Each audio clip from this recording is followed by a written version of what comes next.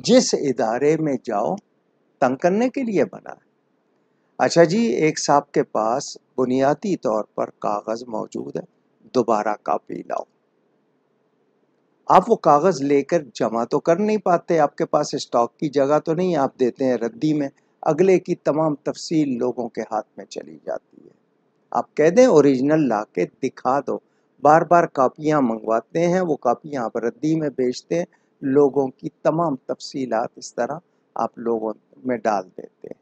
ये है ना आप, ये आपकी कारकर्दगी। एक बार आपने तस्दीक करा ली, लेकिन आपको चालीस मरतबा फिर तस्दीक चाहिए। आपका काम ही लोगों को तंग करना। पाकिस्तान के इदारे में मुकर अफराद को सिर्फ़ तनख्वाह किस लिए दी जाती है लोगों को तंग करने की? ये आपका रवैया है। मस्जिद गुलजार हबीब में सोलर पैनल लगवाने के लिए। अब पचास साल से ज़्यादा अरसा हो गया। आपका वहाँ मीटर लगा हुआ है, आपके बिल आ रहे हैं। दोबारा सोलर के लिए जी, वो कागज़ भी लाओ, ये कागज़ भी लाओ। आपका एक इदारा है, मैं बता रहा हूँ, आपको मिसाल दे रहा हूँ। अपने घर के लिए बात करूँ तो मैं आपको क्या क्या बताऊँ।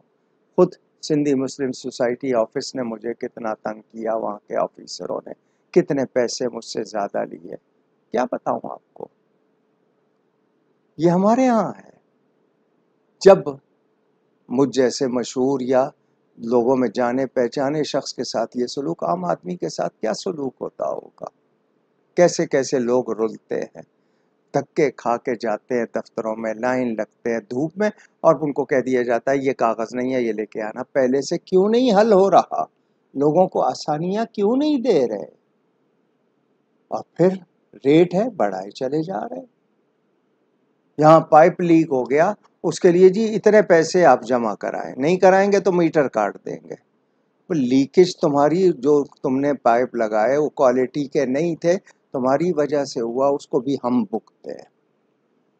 क्या क्या बताएँ? लोगों के पास क्या क्या दुखड़े हैं?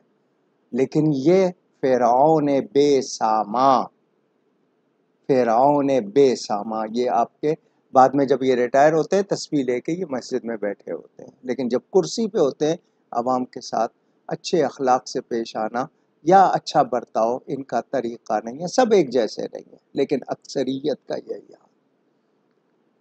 एयर कंडीशन लग्जरियस ऑफ़िस में बैठ के ये क्या जानेंगे कि बाहर धूप में जो खड़ा है उसमें कितनी तकलीफ़ हो रही है उसको। कितनी अजियत हो रही है, उसको जो इंतज़ार करवा रहे हैं और आप बार बार चक्कर लगवा रहे हैं। अल्लाह ताला रहम करे। मुल्क इस तरह नहीं संवरते।